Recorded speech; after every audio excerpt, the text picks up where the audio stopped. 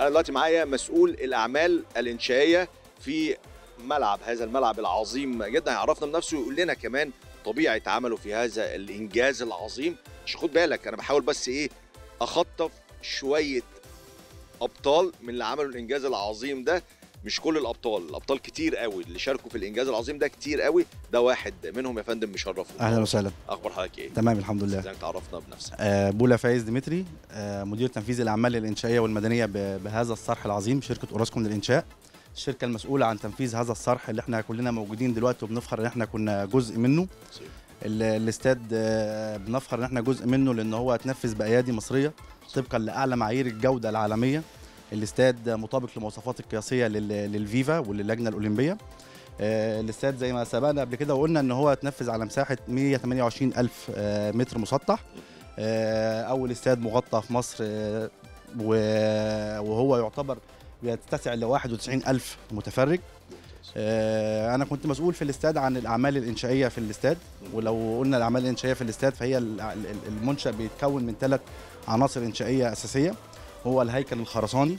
ما يحمله بقى من قواعد عمدان آه، قمر تم صبها في الموقع وده كله اتنفذ على حوالي 1850 خازوق. في ال- ال- القمر والخرسانات ثبات أنا عايزك وأنت بتشرح لي عيشني حجم انت أنت دلوقتي بتقولها أنا عارف والله وأنت بتحكي كده بتقول ده العادي بتاعنا يعني وإحنا عملنا حاجات يعني لا هو مش العادي هو كان جاي بصعوبة جدا أيوه وجايب مجهود كبير جدا. أنا عارف وأنا بدردش قبل كده قبل الهوا يعني إنه في صعوبة يعني الموضوع كبير طبعاً. مش الموضوع هو كان بسهولة ما نفسها كانت فيها أيوة. طبيعة جيولوجية صعبة طبيعة الع- العوامل الجوية كانت صعبة آه، إن إحنا نعمل المساحة دي كلها كان موضوع صعب وكان موضوع تحدي يعني. ما كانش موضوع سهل إن هو يتم تنفيذه. لكن إحنا بنحاول نختصر الموضوع على قد ما نقدر إن هو الحمد لله ربنا طبعا توفيق ربنا فوق كل شيء إن طبعا إحنا وصلنا إن إحنا واقفين مع بعض دلوقتي في هذا الصرح الجميل يعني كلنا. بنفخر طبعا آه، كنت عايز أكمل حضرتك إن العنصر الثاني الإنشائي للاستاد هو الخرسانات سابقه الصب والإجهاد. ودي عبارة عن خرسانات بتتصب خارج ال- الموقع ونيجي. بنركبها هنا بالاوناش.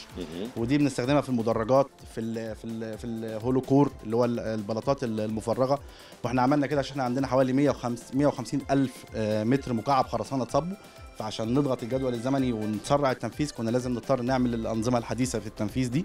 وفي عندنا الهيكل ال- المعدني زي ما حضرتك شايفه. اللي هو في عندنا 32 ساري اللي هو ال- ال- اللي بره ده ده حوالين الاستاد. أيوة. ارتفاع الواحد 75 متر. هو اللي شايل ال- ال- السقف اللي بيتكون من ترسات وأرشاد ده. عن طريق عملية شد كابلات دقيقة بغاية الدقة طبقا لمواصفات عالمية قوية جدا.